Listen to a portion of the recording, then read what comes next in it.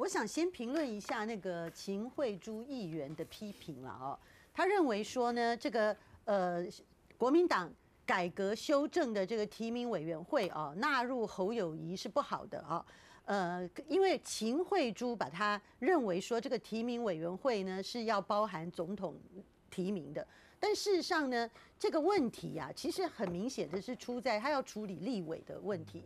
那党中央也很明白的讲，就是他这次把一些重量级的县市长纳入这个提名会，他主要就是要解决立委的提名问题。尤其是大家要知道，立委如果国民党现在现任的少。艰困选区的多，那那些艰困选区要怎么处理啊？那么现任呢？如果遭到非常的强烈的挑战，可是现任的立委也做得不错，那有没有其他，譬如说不分区机制等等？我觉得从立委的角度呢，把县市长纳入一个提名委员会呢，我觉得这个是很适当的，因为县市长才刚选过嘛，他最了解这个地方的生态嘛，这是其一。所以呢，不必担心说哦，如果侯友。友谊是要有意参选二零二四的人，他又在那提名委员会，他会不会球员兼裁判？反正到最后那个提名委员会不要处理总统就好了嘛。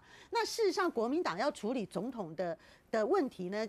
如果我们真的讲，大家现在以共识说谁是最强的人，我们就提名他来讲话。其实国民党现在选情，我个人认为呢，总统方面相对单纯了啊。就如果没有这些其他的争议的部分，那另外呢，我实在要讲哦，我觉得我很惊讶这次所谓选测会之乱，是因为我觉得三月四号南投县长的输掉呢，应该要给党呃补选的输掉。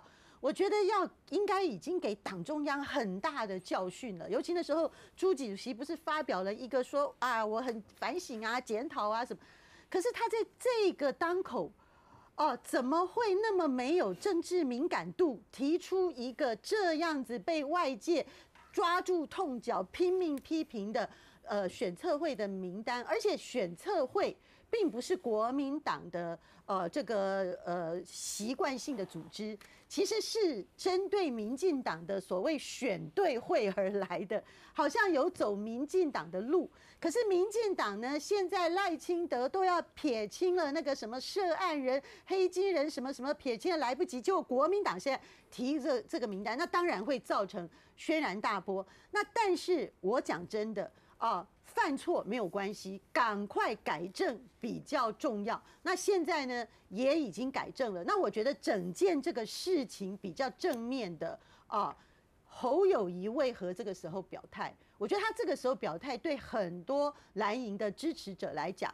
他只差一个没有说我要选二零二四哦，他其实会这次强烈表态，我觉得对很多人来讲呢，已经对于他的参选呢，算吃了不能说整颗定心丸了哈，但是至少可能叫做半颗定心丸。那我一直认为这个不是内线消息，我的政治判断，我一直认为侯友谊会表态的时间是在四月下旬。议会开议，他施政总执行的他的施政报告第一次完结之后，他才会表态。我觉得哈，我觉得这件事情还是有两个指标，一个永平跟那个赵大哥都有提到。第一件事情，我觉得终于哈侯友谊有一个看起来比较大家觉得说，哎，有总统架势的一个动作。因为你直接拿黑丁黑金来开刀这件事的话，它不只是党务改革哦。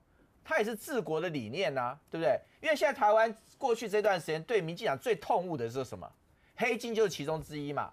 那你现在看到赖清德他上来之后，他也确实针对黑金，你发现他花很大力气要去处理的时候，黑金已经变成这一次国政的关键对决。所以我觉得这件事情让侯友谊他出场来谈就是黑金改革。那甚至第二件事。看见党中央，哈，虽然这坦白讲，我也认同永平讲的，南投补选都输了，应该是要小心谨慎一点，就还弄出选策会这个乱子。但是呢，我想毒瘤哈，炸弹哈，早点爆一爆，这也不是坏事啊。因为我自己看到，其实尤其南投补选，我是非常忧心，因为我相信美玲也知道，我们在访问基层，我跟你讲，补选前我听到大部分的观点都是啊，你们好好合作哈，我们觉得二零二四哈会赢。补选之后，很多人就觉得再搞下去会输啊！这是我觉得选民开始焦急。那第一个说今天选测会的事情，坦白讲是这件事本质是离谱的，但是它爆开之后，朱立文也很快解决问题。我刚好这件事也沾到一点边，你知道吗？因为我也很压抑，我就是第一天爆发的时候，第二天就是写了一篇贴文嘛。那时候是建议我说，选测会大家不满，那两个方式解决，把没有公信力的踢出去，把有公信力的加进来嘛，哈。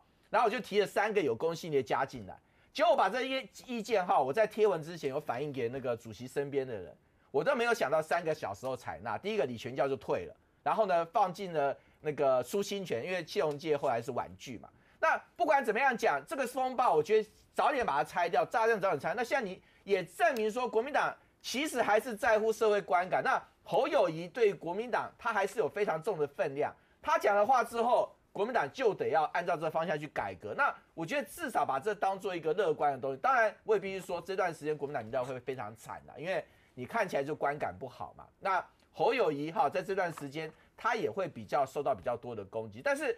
这种攻击早晚会来，我就不如现在就来了。嗯，掌握全球情势、国际新闻，全新选择 YT 频道 TVBS 国际 Plus，扩大视野，欢迎订阅并开启小铃铛。